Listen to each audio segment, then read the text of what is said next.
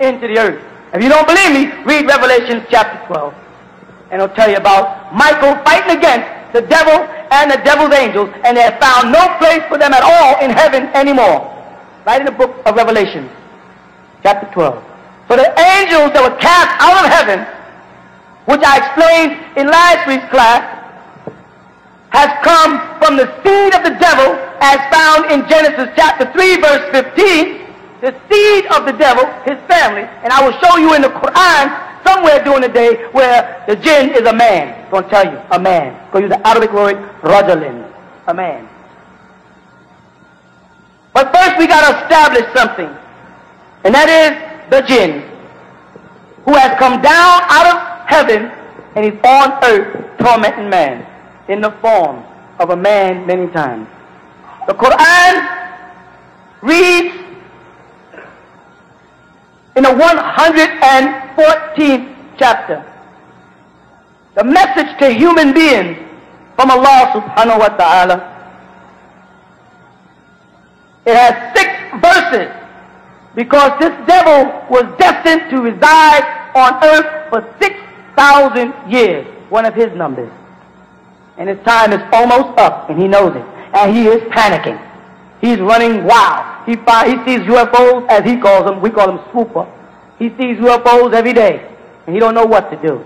There's wars and rumors of wars and nations against nations and kingdom against kingdom, and there's famines and there's earthquakes and there's pestilence, and the man is confused. He's looking for you to help him, and you're confused. but because Allah is Ar-Rahman, Ar-Rahim, the light of Allah is here. And we'll know the truth, and it'll make us free. Listen what it tells us. Bismillahir Rahmanir Rahim. Begin all things with the illustrious name of Allah, the yield of the most merciful, which I explained earlier. Qul, tell him this, Muhammad. This is the angelic being, extraterrestrials as you'd have them, speaking to the Prophet Muhammad, who was the comforter who came after Jesus, the Holy Spirit with him. And the Holy Spirit is the angel Gabriel, salaam alaikum wa rahmatullah. He spoke to Muhammad and said in an order tense, tell him this, Muhammad, Qul, this is what man better do.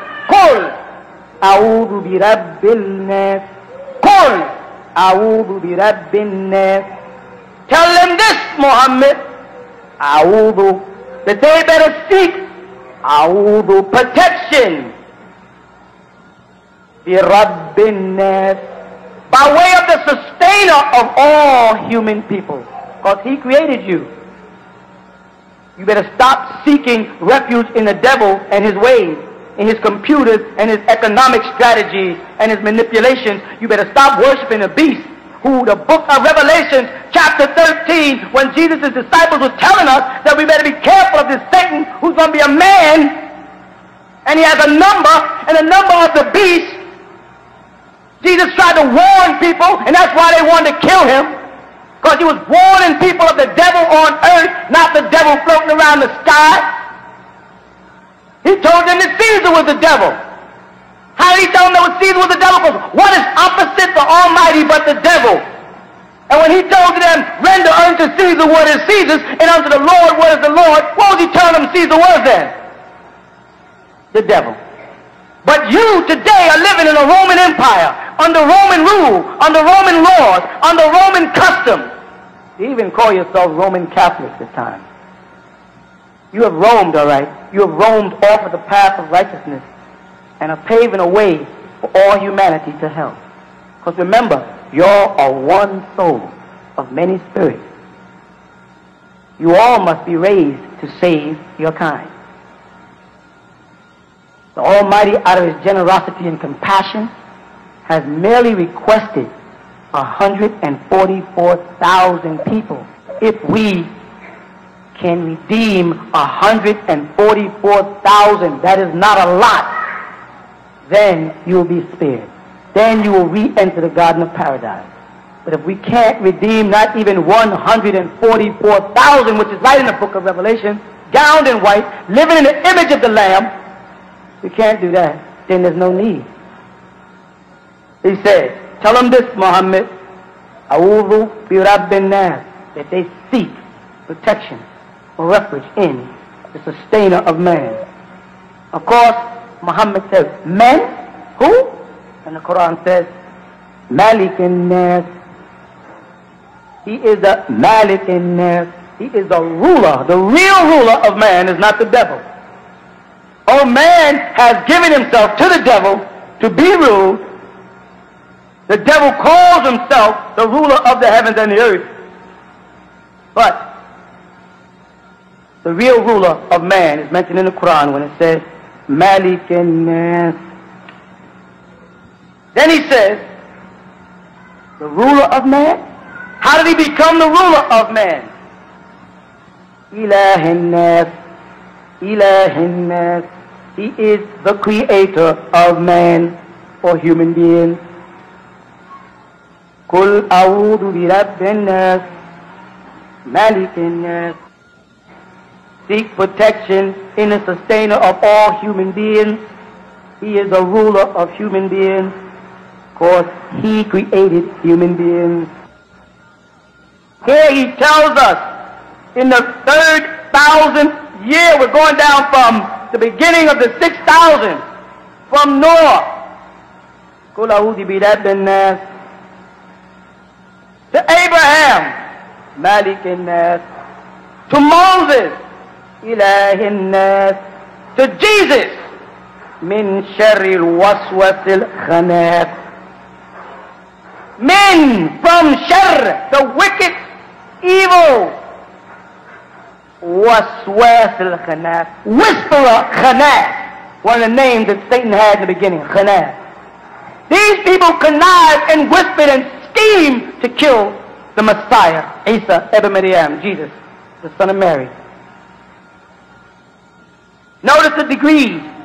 بسم الله الرحمن الرحيم قل أعوذ برب الناس ملك الناس إله الناس من شر الوسوس الخناس On into Muhammad الذي يوسوس في صدور الناس Who is this whisperer? He is the one who whispers في صدور الناس into the hearts of people. He gets into their chest. That's what happened.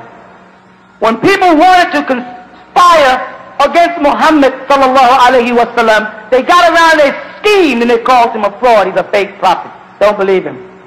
When they wanted to conspire against Jesus the Messiah, they whispered. They got little councils and circles of people, and they whispered and called him a fraud. And this would continue on straight past Muhammad to Adam and straight past Muhammad to today. When people want to turn people away from the Ansar Allah community, they sit around and whisper about Imam Isa. See, I heard this about him, I heard this about him, you hear this, I heard that. He said, they don't come to him and talk to him. Forget his works, what he's doing, forget the books, forget the children, forget the people he's raising.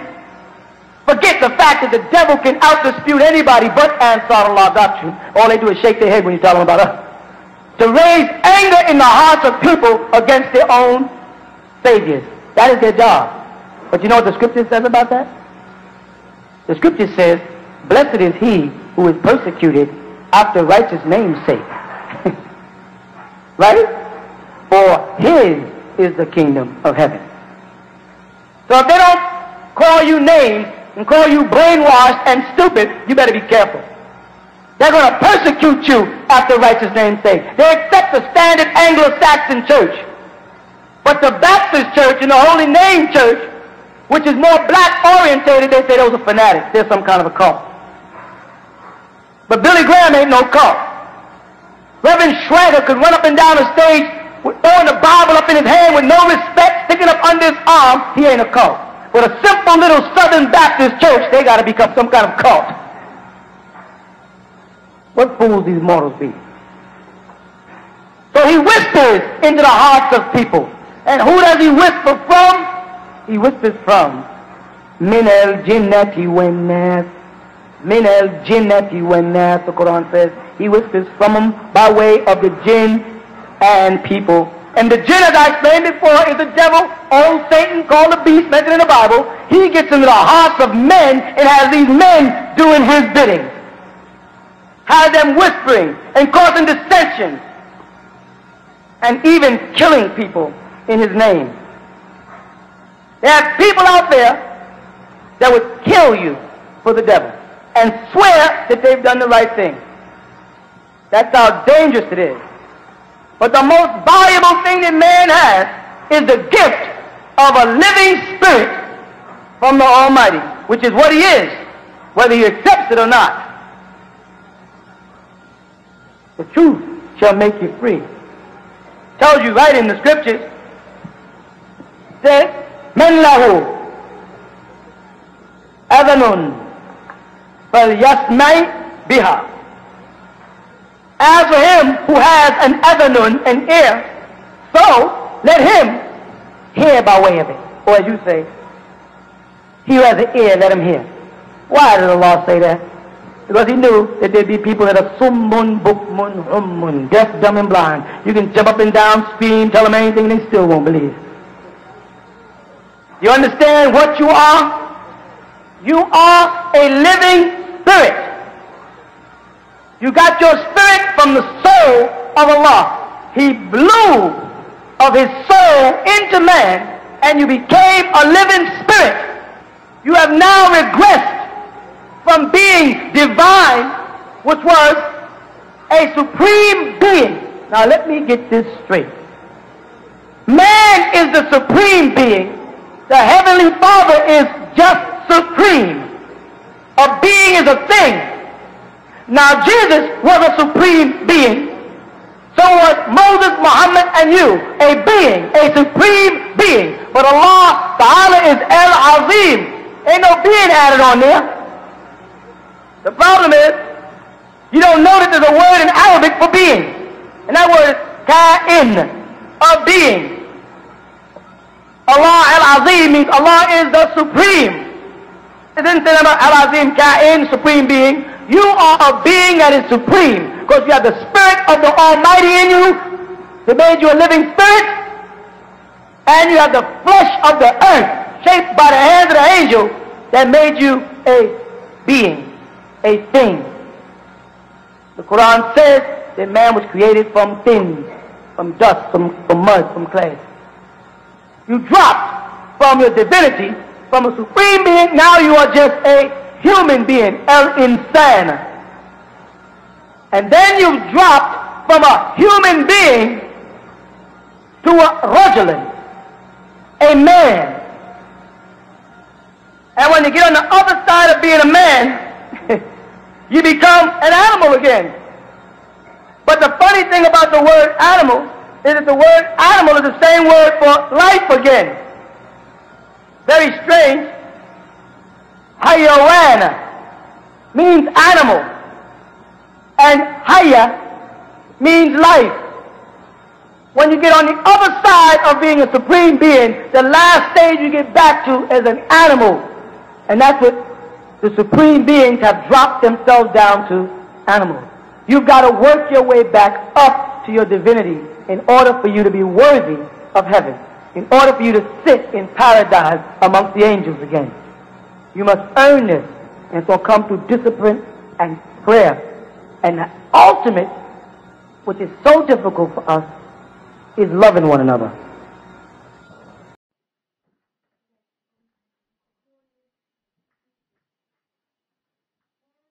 My name is Dr. Dennis Terry. I've been following the land for four years. I was a devoted Christian who thought he had the truth until I met the man of this time. Dr. Malachi Z. York has come to right the wrong. No more spook belief. No more blind faith. He has the facts. Bring on your imams. Bring on your priests. Bring on your sheikhs and rabbis. Dr. Malachi Z. York speaks all of their Shemitic languages that most of them don't even know. He has allowed burnt men and women, scholars and their followers to question him, and there wasn't a question he couldn't answer. So now that he's asking the questions, they all fall to the truth. You can't box with God. So without further ado, I'd like to introduce to you the most profound teacher in this day and time, Dr. Malachi Z. York.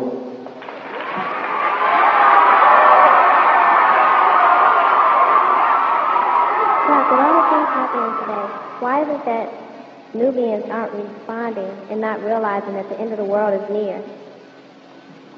With all the doctrine that's coming out, and all the different things that you're doing little by little, you know, you have an effect on the people in a big way. You understand? And, and you just got to be ready for it. Unfortunately, a lot of Nubians are not into computers like we are, and um, so they don't even know about the Hale-Bopp. They don't even know, you don't know about the Hale-Bopp, right? Comet. Right? A lot of you don't know about the Hale-Bopp comet yet. That's why I got, what I did is I got a copy of the tape so you can hear the Amorites tell them about a craft like light, like entities that ha- seems like it's alive, yet not alive, that's four times the size of Earth that they just discovered. And NASA is confirming that it's there, next to a meteorite that came into existence two years ago called Hale-Bopp. And it's on the tape, they're called Hale-Bopp. And they're actually talking about this this new craft thing, and they tell you it's coming towards Earth, and it's intelligently controlled, and it's coming to get a group of people. And they say on the tape that these group of people that they're coming to get are people that are involved in, in advanced studies. And, and, and, no, they literally say on the tape, they say they're out to teach people. Did anybody hear yet? Oh, y'all, y'all, y'all picked it up, right? Drop it in the car on the way back home and listen to it. And the end of it, God says, uh, in the beginning of it, in fact, it says, um, uh, I'd like to thank um, Dr. So-and-so, something Malachi. That's not me now, right? If somebody who uses the name Malachi. Most of them don't pronounce the name Malachi, they pronounce the name Malachi. Right? So it's a slip of tongue them to say Malachi. That means they, they're letting us know where the source is, but they cannot deny. And we have the, we went into the computer and um, internet, and it showed us the comet. They had pictures of the comet in there, and um, it's good to know it's there. They noticed, they noticed the Nibiru, and they literally say on the tape, uh, Zecharia Sitchin refers to this as Nibiru. Next um, came into us was, um, I tried to fact check as many people as I can. I don't know if you got the skulls. Right? Y'all get the skull? The skull of a denacle, the twice, the chromium twice the size. And right after that, about two days later, they sent us the skull of a Tiro, a cone. Because everybody, when we said the cone is a real, people thought he was chopping off Saturday Night Live. Of course, they don't know that everything the Amorite does, he, he puts the intelligence in front of you so he won't believe it. But they got actual skulls. And we're getting more information coming constantly because now that people know through the internet that we're the source of this information, they feel free sending us stuff. Amorites, everybody. I got clippings. I got like 10 stories on how Jesus was married to Mary Magdalene. You heard somebody had, y'all that one? Had children, I was kids still moved, you know, was protected by the, you know whom, etc. All these stories are coming out. They had a whole thing on television the other night on um, Discovery or one of them, where they talk about, you know, the, you know, the um, graves of, of skulls, the graves of skulls under Old Jerusalem. Well, they have a place called the Grave of Skulls under Old Jerusalem, for those who don't know, where they have all the skeletons of all the uh, popes and all of that. And this is that, place where they say that um, Freemasons go when they reach a certain degree. Believe me, I know. And they go to Jerusalem and they go beneath Old Jerusalem and they see the body of Jesus. And uh, they've taken the body of Muhammad out of the 18th century out of Medina. That's when they rebuilt Medina. The mosque in the north, and they, when they did that there, what actually happened is the, the Shriners took the body of Muhammad out of that, which they had preserved, and his body is also in the, under there. And, and only uh, people of a certain degree of Freemasonry are allowed to see it. It's a confirmation. Actually, they're not looking at Jesus' body, they're looking at Bar Jesus' body. Because in there also, in a, in a higher degree, they tell you that Jesus went to Egypt and he died there at 120. But Jesus' son, why he was the one that was killed in the streets of Jerusalem, body transferred to the Vatican in Rome, where they simulated the crucifixion of him there, kept his body there for a certain amount of years, and then the Knights of Templar went there and got it and bought it and put it in there. They have a special chamber where they keep things sacred. They also, I don't know some of y'all remember years ago, I said under the Sphinx, there's some documents. Years ago I told y'all about that. They're trying to get up under the Sphinx to get to these documents. They found out the Sphinx is the symbol, was a symbol of, in, a, in the astrological charts of the ancient Egyptians, you know, as the, uh, the era of Leo, the lion. That's what it's supposed to symbolize, and has something to do with the Mars project and the, what they refer to as the Adama project. This is that one atom, right? And so they are unmasking because we should never say they discovered anything. They don't discover. They uncover things that we buried. Right? So a new word, just a new one for you. Right? they don't discover anything. But anyway, they're starting to uncover a lot of the things that's going to confirm everything that you have put trust in me in is going to become confirmed for you in front of your own eyes. And not that you need it. I know some of y'all is following me wherever I go, and I appreciate that. Right? But I'm just saying, it is good for those who come to your class with the skeptic. And I didn't say skeptic, I said skeptic. They come skipping around looking for some type of evidence to what appears to be a science fiction movie when you start kicking the doctrine on them. I know deep in your heart, as much as you may have loved me and I you, when you had to go out and teach what I was teaching you, it was difficult. You say, oh, the guy's really from another planet. And he has 19 spirits talking to him. And, and you know, never mind, we'll pick this up later. let's, talk about, let's talk about something that appears more sensible. But the confirmation of who and what I am is confirming itself. And that's the best I can ask for from my brothers beyond the stars if they give me just a little help. Because to come here, you know, to incarnate into this individual's body and try to convey this message to people that have been so televisioned, so subliminally sedated. I mean, that they removed the essence of the nine from you and implanted the six, the lower side of the circle. It's such a hard job just to get you to not listen to the wrong music. You think you're saying something cool when you say, I like um, such and such a music. You don't understand nothing about music. But y'all are familiar with the 800 megahertz frequencies that are coming through the air now. You're familiar with that. You do, you do, no, you're not. Okay, well, I thought I talked about it. But you know, each one of the human beings have in their brain, they're called magnetic particles. That's the best term that they can come up with them. One day, of course, I'll give you the real name, but let's let them play with it for a while. Magnetic particles. You have nine magnetic particles in your brain. All right? These magnetic particles can be affected by wavelengths, by frequencies, higher and lower. Now, the cellular phones are all set at 800 megahertz.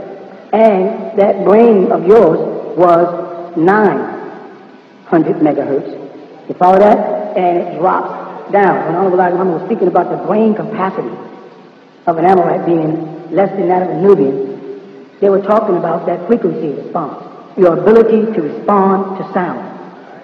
All right? Of course, as you know, microwave also is moving on a sound. I, I think I explained that a couple of years ago how microwave cooks food by sound, which means that they're able to cue in and deaden some of those magnetic particles.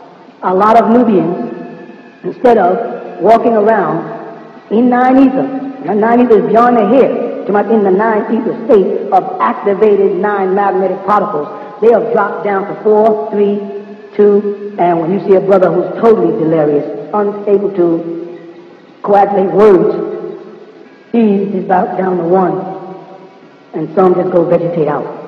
And what they have to do is they give you all types of drugs so that it drops your body down to what's referred to as an alpha wavelength, which is one step from dead. And that way you'll stay what they refer to as monotone. Monotheos, monotone. Mono, they keep you dead. Right? And so they are now capable of sending these frequencies out. They are putting these stations along the road. I know as y'all cross the country, if you look up, you see this thing on a tall pole, and it's shaped like a tetrahedron, and it has little things on all four, three sides. Just look for them, and you'll see them. Well, right now the government has 24 different satellites aligned to the planet, around the planet. All right? And he has 24,000 of these receivers and senders situated across the country. He is able to tune in to your radio via frequencies. It's called frequency response. This unit that I picked up, that I, that I brought here and clicked on, is a unit that's making it possible for everybody on Kadesh to turn to a certain station on the radio and they can hear me talking without any wires which means I'm sending control frequencies through the air. You follow that? Once I understand, once I understand the human, and that his brain waves are between 900 and 700, you follow? Seven and a half ounce of brain on that? 900 and 700 on megahertz, I can send out certain types of frequencies. I can also lock these frequencies into music because when they started doing this, they did it in a place called uh, Wackenhut Naval Base. Used to investigate and find out that's where they started at. And the reason why they refer to it as the HAARP project, if you heard that, out of Alaska, is because a harp, of course, is an instrument. And they know that by strumming a harp, you can get different response. Years ago, a lot of people used to come to me and ask me, how do they line their body up? And I would tell them what they had to do is go to a keyboard and um, take middle C and find the two eighths of octaves. Find the octave between middle C from one to the next. Of course, you know it's eight notes. And I said, you go up and down the keyboard until you find that note that soothes your body. And then you'll know what key you're vibrating on. You know what vibration works with your body. The uh, Buddha or the Tibetans, they know about this. And so they have learned how to make their throat make three sounds simultaneously. And they chant like that.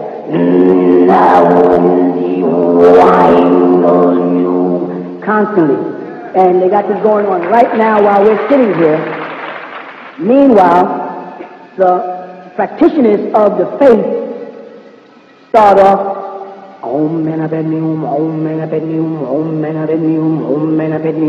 And they're on another frequency while the priests are pulling. The sound is a strange thing.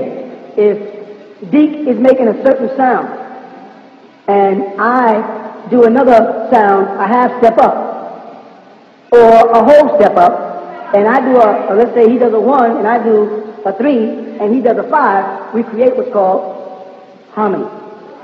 You follow that? As you know, none of the groups are singing in harmony no more. They have this new kind of harmony called unitary harmony. They think they're singing in harmony because two or three of them are singing the same note and it's partially unison, unison in part, harmony, and none of the kids have it no more. Because they had to stop that because that vibrates three bones up here in the sinus that connect to the tetrahedron that the nose creates, which opens the eye of Osir, the third eye. They know what frequencies we move on.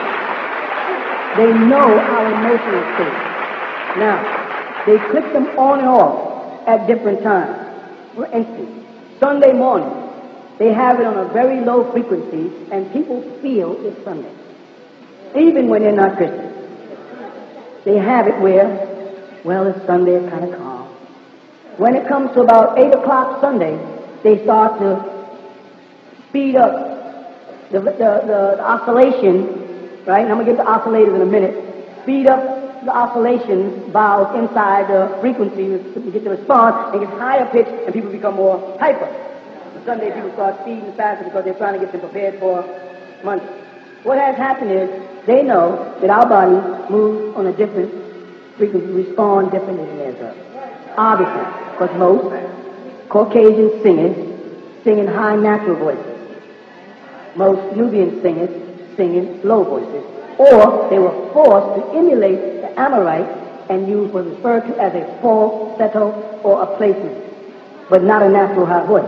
Very few Nubian singers have a natural high voice, unless they go out their way to, like Seal or a couple of others who want to be Amorites, go out their way to sound like Amorites. They're already programmed. They've already got inside his head when he had that accident and alter the frequency. They can also alter your frequency response. Let me tell you what I mean by that so you get a better understand.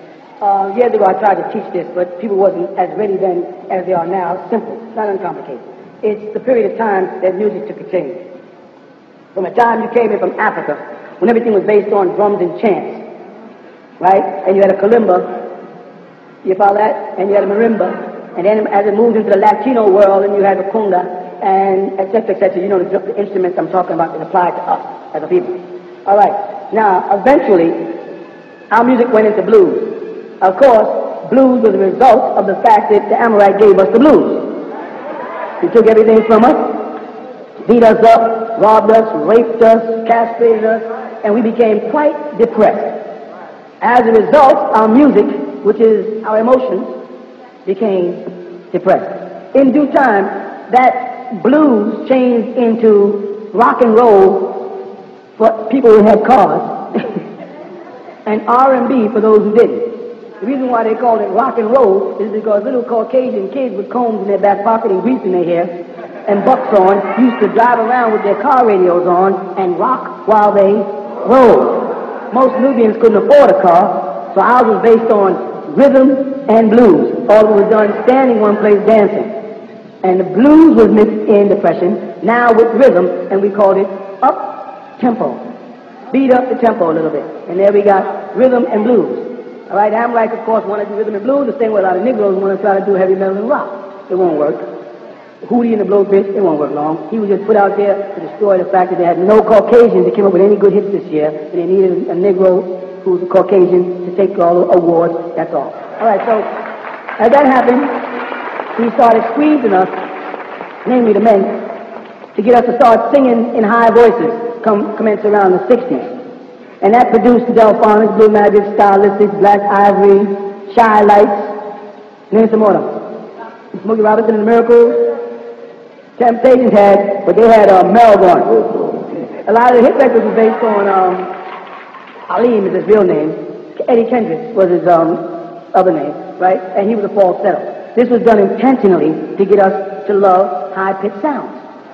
You follow? Because that's the only way we can get a hit record is to sing the way they want. And so Blue Magic and everybody, we all screaming our voices out trying to sound like white people with white men sing naturally in a high voice, you know, spin or something. Right?